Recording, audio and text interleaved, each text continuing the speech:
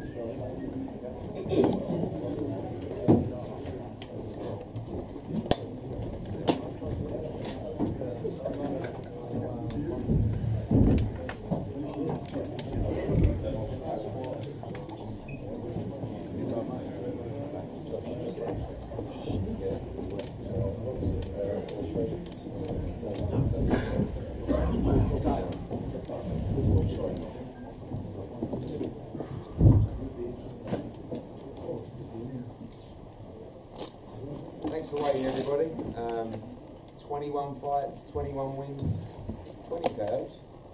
And now four belts. Reigning WBA, IBF, WBO, and IBO heavyweight world champion. We're open the floor to questions.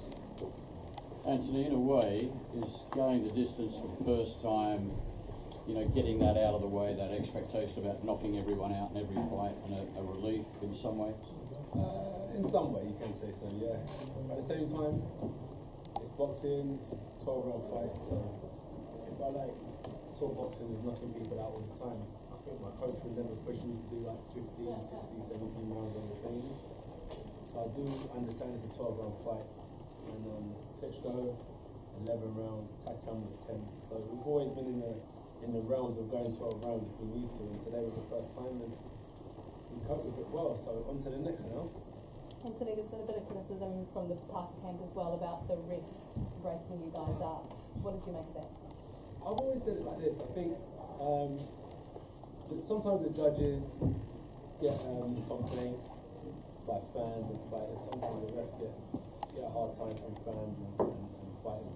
But I don't really like to, you know, put a bad name on the refs and judges. But they're there to do their job, you know. And Parker's trainer should have advised them of ways to avoid getting disciplined by the ref and getting told off by the ref. So that's his job, not to kind of you know, go against the referee, find a way to go around the referee and what he's doing. So um, it's not my job to kind of disrespect the referees and the judges. Given I your think height Parker and was happy to hold. Interesting. given your height and reach advantage, do you think that Parker could have done more damage if he had more of a chance to get inside? I think when we did get inside, I was swinging along with him. The only time I wasn't swinging is when I did swing back, then the ref kind of, you know, remember when he pulled us apart and told us, don't, don't let that happen again. So I kind of abided by his rules. But if he wanted to fight on the inside, it would have been no issue with me because he can do that too. So either way, whether it was long or short, I was comfortable in, in both positions. That communication from the ref, was that in English or? Yeah, all English. He spoke to us before um, in the change room, gave us a set of rules, and there was no translator, all in English. Yeah, I'll just clear up that comment. I think it's been Kevin Barry's team that the referee didn't speak English. That's right. The, the entire talk in the change room for about two minutes of the rules was in absolute perfect English. check my website um, soon. There'll be a little, uh, little behind the scenes clip, and I'll probably put that part in there when they speak in English. What do- check out the website. What do you make of the fact that Kevin's saying that, that there was a language barrier? What do I think about that? I think it's hard to please everyone. Um, um, his first language probably isn't English, but he is fluent in English and he does speak it. So uh, yeah, maybe he hasn't got a Cockney accent, but he can definitely speak English. And they, they considered that they were, they were very gracious. They considered they were beaten by a bigger, better man on the night. Um, what, what were your thoughts on uh, on Joseph um, from our perspective, just in terms of being, a, you know, taking the 12 rounds and, and going to war with you? Um, it's difficult when, when someone comes and, uh, and backing up a lot of the time and so on and so forth. But so be it, you know, history was made. Um, Joseph played a massive part in this, his whole camp did. And I'm, and I'm honoured to share the ring with him. And what's interesting is uh, Joseph won't give up now. You know I mean? He's still young, competitive. And I think we'll definitely see Joseph Parker again. But as you said, I think just on this evening I was more focused, more disciplined, and I carried the tactics and I was a better man. Do you think the um, the twelve pounds lighter made a big difference to your stamina throughout the fight, and that, that there was that, there wasn't that dip this time at all, maybe through the middle rounds that you might have seen before? You know, you gotta be clever in boxing. You know, different doesn't mean that you're tired. Different sometimes means that opponent is waiting for you to tire, so they take time off as well. So sometimes you kind of match their energy. If it's a fast pace, you've got to go with it, and if it's a slow pace, you've got to. So, yeah, the 12 pounds is good for this type of fight but it was a lot more controlled and a lot lighter on my feet. And um, I honestly do think that for someone like Takam, luckily it was Takam, 18 stone was fine because you know, he was a short opponent. We, we sat on each other's chest for a little while. and he wasn't, uh, he wasn't a boxer like Parker. So boxing for boxing and the speed, the lighter, the sharper, it worked out well. So adjusting weight for different opponents is the thing. You don't seem elated.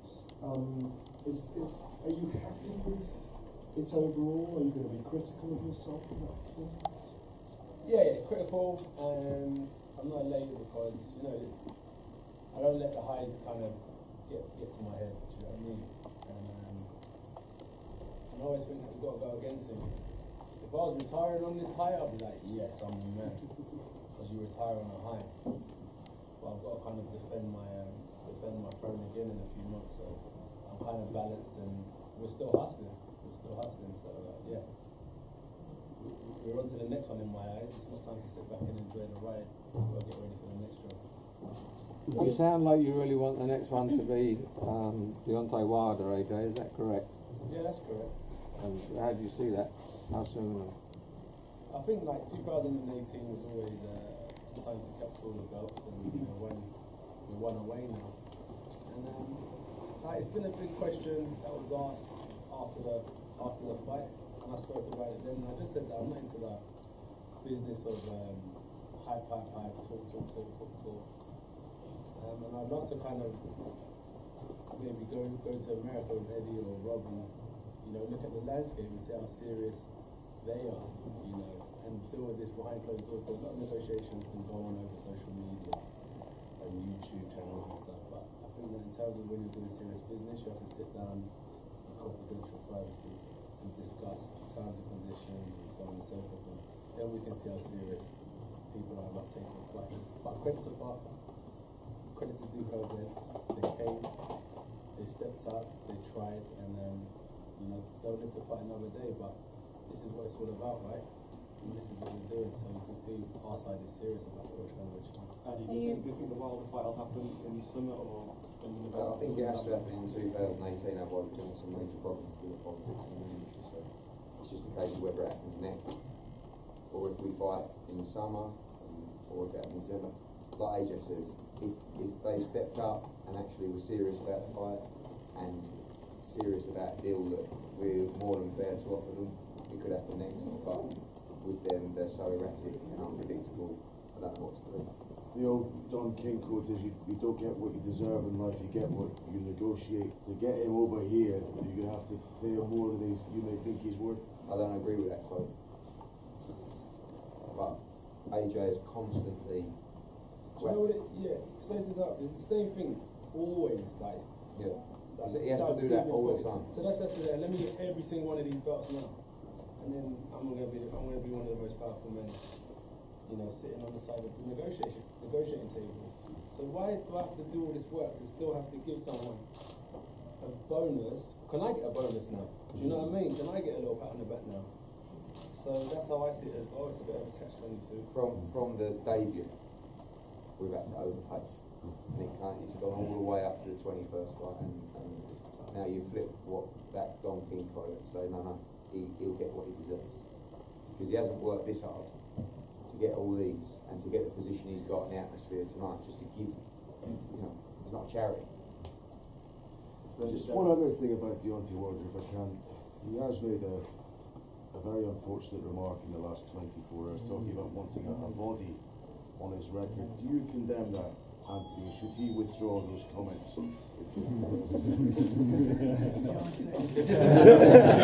It's, it's, a- it's, it's, you know, it's, it's a terrible thing. I don't condemn it.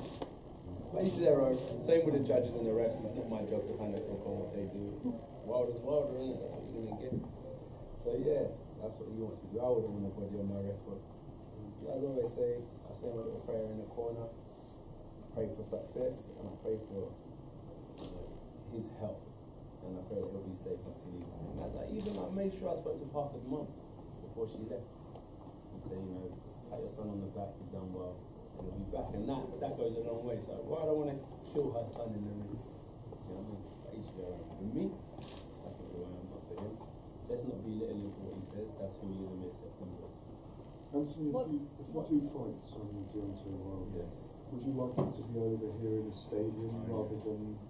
I don't, okay, me personally, yeah, but we, we have to see what's best for the team, you know what I mean? But me personally, it is really good in the UK, it's comfortable, um, time zone is what I've been used to for, most of my life. Um, you know, I've got to travel loads of hours across seas and disrupt my, my sleeping pattern and stuff, so I think for those reasons, I like the sound of fighting in the UK. But if there was a, you know, a, a healthy offer or, or something on the table, then it would make sense to go there. But it hasn't been that, so we're, we're comfortable in the UK while, while we're doing what we're doing. Anthony, how determined, how hungry are you to add that final belt to your collection, do what nobody's done before in the heavyweight division, and um, and take it on? If I'm honest, my hunger is about um, is more so about improvement. You know, I'll, I'll get all four, I'll get all five of the belts. It's not an issue. But it's about improving for me. So my hunger, honestly, that's why I'm not elated with like, all these belts. you mm-hmm. uh, Like, I've the belts on the man. It's like, where can I improve? And that's just how I am. That's how I am. So yeah, I'm more interested in improving because the better I am, the more in touch I become, the easier it is to get my hands on the belt. So yeah. And your rise over the last six years has been meteoric. London 2012, multiple world champion. How do you reflect on that journey, and where do you see it going from here? How do I reflect on it? Um, I've had like people like Rob in my corner, you know, back in when, when people wanted to wrap me up, and then that was a blessing.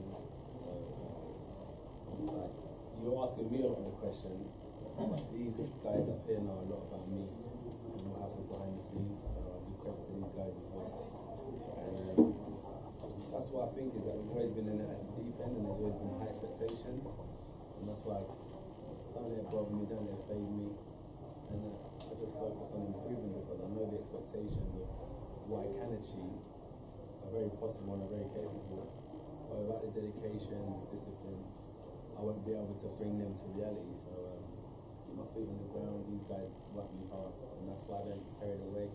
And I think sky's the limit for what we're trying to achieve, you know. Selling out three massive stadium fights in 11 months, do you feel the magnitude of what's going on in this country around you? It's not just around me. Remember, look at the. I always say, look at the whole show. It's an event. It's an event. The whole event.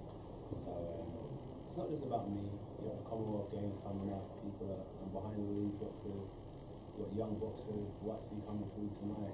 You know, the guy David Price and Vetkin. It's phenomenal. British doing a great job promoting. Freddie doing a great job at managing myself. Telling my story to a completely different audience that aren't die-hard boxing fan it's amazing what everyone's doing. So um, I bring twenty thousand. Rob's a boxing historian. He's been with Carl Froch. He done the show at so he brings twenty thousand people that supported him. Eddie brings twenty. Freddie tells everyone plays a massive part bring this together. So it's not just me. I play a small part in this big fun. Anthony, Anthony, what did you think of uh, Povetkin's knockout of I Price? haven't seen it yet. You haven't I seen haven't it? seen it yet, unfortunately. But um, it's a, everyone wants Price to do. That's what's good about the UK fans, isn't it? Everyone wants to see him rise again. So uh, well done to Povetkin, and um, it's hard luck to Price. I mean, that would have been a good win for him. Andy, what's the situation with that mandatory? It'll be our eventual mandatory, hasn't been called yet, but at some point when a mandatory's due, the Becky will be WBA mandatory. The IBF have ordered Pulev against Brazil. WBO, I'm sure will order another one. That's why you're saying that Wilder fight has to happen this year. Yeah, because at some point you're gonna have to drop the belt, and the aim, the whole point of the Wilder fight is to win the final belt. So we don't really want to drop the belt and then fight Wilder, it still happen, That's not quite a history fight that it could be. Are you ruling out a rematch with Joseph Parker? So we made. Uh, yeah. Sorry, Yeah, yes. Yeah, yeah. I mean, look, he's, I, as Anthony said, he's 24. He's going to come again. He wasn't good enough tonight, but he's a very good fighter, and he has a good team of people around him. He has a lot of support. He's a very nice young man, and I'm, I'm sure he's got a few. We need people like Joseph Parker in the division. The more, more people that are active and, and good quality heavyweights, the better. Mark, how would you reflect on uh, Anthony's performance today? Yeah, Didn't mature. Yeah, he, he stayed calm, got behind the jab, got his left hook working. Parker wasn't really there for the right hand. He, he knows what he's doing, Parker. He's, he's a really solid contender. Um, but I thought he was professional, Anthony. He saw some of the heavyweights in the past win the fights behind the jab, and that's what he did tonight. And, and I felt he did a good job on, on negating Parker and cutting him off and, and winning that comfortable winner. So I was pleased. AJ, you did a good job at cutting off the ring and cornering Parker, but you seemed a little reluctant to throw the right hand. Am I am I reading it wrong or? Um, yeah, you were reading it right actually. I wouldn't say it was reluctant, but when something's working, why try change it? You know? So, um, yeah, I, I knew how to break Parker down, and I knew how to put him, put him in a position where he couldn't do much back. Throwing the right hand at times would have in a position where he could have countered me, so I held it back and continued working that left hook, and that's why the lead hand is the most important hand in this fight. Swinging on Gracie came here and ramming that jab as he came. Every time he came forward, I was just ramming that jab in his face. And um, every time I threw the right hand, he would slip down to his left, and that's why he was ending up underneath my arm. Because I was going like that, and he would just duck and end up underneath there. So what I started to do was throw the jab, and as he would dip because of the right hand, I was swinging that left hook there. And that's why this wasn't a massive action to me. Do you think- It wasn't in a position for me to throw it. Do you think you hurt his granite chin? Uh, you'd have to ask him, but I know that I I was supposed to be in with the fastest heavyweight in the world, and I beat him to the Madrid of punches, and um, you know, uh, a strong puncher. Um, I was supposed to be a strong puncher, and I took some of his shots. Uh, the referee went to break, he swung a big left hook and caught me, didn't do me any damage. Supposed to knock me out tonight, didn't happen. Um, and yeah, actually, forget the humble shit. I did hurt him a few times. I bust his eye as well. So yeah. Standard. It's not really about Wilder, it's more about us sitting down.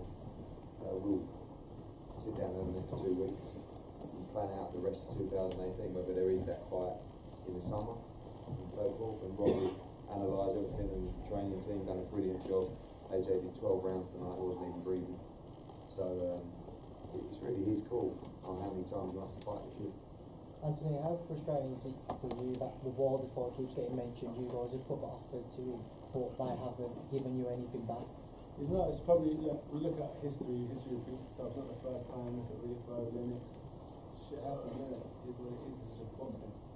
So we'll ride our wave while we're here and soon be forgotten about in the next 10 years, innit? So we'll do, what, do what's right for us. That's just how it goes. Eddie, there's been some uh, wide criticism of the how wide the scorecards were. Do you think that may play a factor in how willing Wilder is to come over to the UK? Somebody's mentioned before. Can you, can you confirm the scorecards?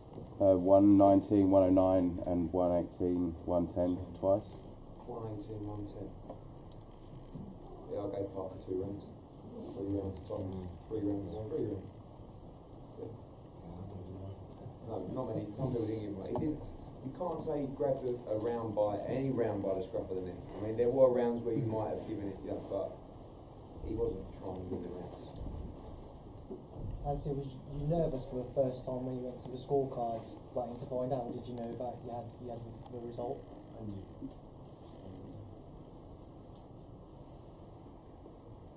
Anthony, you said you hurt him. Did he hurt you at all? But I knew that he could if I made mistakes. Because uh, boxing sometimes is just about having the shots you don't see coming as well. Hence why you asked me why I was throwing the right hand because he was trying to set traps. But I wasn't falling into his traps. Um, so yeah, I didn't give him the opportunity to. Did you feel any pressure to continue the 100% KO ratio? At all. Look, at, like, I'm not Mayweather or nothing, but you've got one of the guys that you call the best ever and so on and so. Went 12 rounds in the career of his career. So it shows this about boxing IQ, as I said. Like when Parker said in his uh, fight build up, this is going to be a war. I said, okay, interesting. We've been working on technique, and that's what boxing is about. Before the war comes, you know, you have to box. You have to be able to control your opponent. Sometimes it gets a bit sticky in there. You have to dig deep. But I knew that wasn't the route he was going. It's about being intelligent. So 12 rounds is fine for me, and it's not about you know the 100% care record. It's about securing these and, and winning the ball. So boxing is tough because there is no space for mistakes. You know, you lose and man's sitting here getting praised. So it's just getting that W on the record and trying to pro- progress now. I've got a bit of time my face and go again and display some good boxing skills with, with whoever I fight later on in the year. Uh, AJ, you have spoken to Joseph's mum. Have you heard from your mother tonight? No, not yet. Yet. She was expecting a knockout though, to be honest. well, she said second or seventh. I don't know if she had a bet on or something. She said, I want to in the second or seventh. she did. I was like, alright. Uh, yeah. That's what she said before the fight. Um, but no, I haven't spoken to her just yet. But I try not to like involve the family, like my mom too much because when I go home, I try and leave all this at the door and just have peace at home. Do you know what I mean? Because sometimes it's not always good. Sometimes people say bad things and so on. So I just try and leave that at the door. When I'm at home, it's, it's like my place of peace. Uh, that, that she watches the fights very closely at, home on. I think like she'll definitely, you know, have the fight on, but whether she watches it, I don't think she can. That's why I don't like my mum coming. It's a tough place to see your kid go to war. So yeah, I'm sure she'll be happy that I'm alright and I'm not dead. You know what I mean? She'll be happy I'm fine. you can die in the ring, innit? You can die in the ring. That's what I would do. You, men- you mentioned your development. Are you happy with how you're developing, or is there a lot more to come from There's a lot more to come, but I haven't got the time. I haven't got the time. So we've got to kind of uh, roll with the punches, you know? Roll with the punches. So yeah, I definitely am developing. But like, remember my amateur career was what three and a half years. I think this October will be five years as a pro. Five years. So uh, lot happens quickly. I always saw the pro game like uh, an Olympic cycle turn pro 20, 30, 14, 15, 16, 17. 17, we, we got our hands on the belt, didn't we? 16. 16, so yeah, I see, I see it as this. Turn pro 2012. Yeah, we did it early. Under two years since you won the world title. Yeah, so um, we're always ahead of schedule. I could have been sitting back having low key fights and learning my trade, but as I said, with boxing, I've always put my heart on, you know, put my heart on my sleeve and just showing it to the world, the good and the bad. We saw with Klitschko, it was a tough fight, we came through, and um, that's how it's gonna go, I think. So you guys will enjoy, because I'll always be honest. I'll always give you who I am and my best. So everyone's gonna enjoy this journey because uh, you'll see the good, the bad, the ugly, and um, long may it continue. I think I'm not done. I think I've got a lot, a lot of years left in me. If I can keep on controlling fighters like that, without taking too much punishment, I should be around for a long time. Um, uh, the uh, the uh, three fights, uh, Klitschko, Khan and Parker. Yes. Can you rate the three? One to three? Best to... What most entertaining? Oh, no, just... Um, toughest. Toughest. Klitschko. Oh, that was a good scrap, really good scrap. And then uh, it's interesting. Takam was, I think, because of my weight, that like carrying that size, it was a bit different. Um, but we got him out of there. But then he split his eyes, so maybe the power shots were. Maybe the shots were heavier on his eye. So I would put Takam second because of uh, you know, how much it was on my body. You know what I mean? But this was a lot better because of looser back. So yeah. And in terms of the game plan tonight, how would you rate yourself out of 100%? I, I swear to you, it's whatever Rob says. What is that, Rob? Tonight, yeah, I think it was good. I thought he worked the jab and the hook. The right hand wasn't really on. Parker was negating it and looking to lean down and whatever. I thought he boxed really well tonight. I'll, I'll give him a nine out of ten. Maybe we go back and we if someone slips, we, we jab, and then go again. Maybe we work on this next. I mean, so there's still room to work on dealing with fighters like that. So we can take something away from the father, like my wife the future. Thank you. Thank you. Thank you very much. Thank you.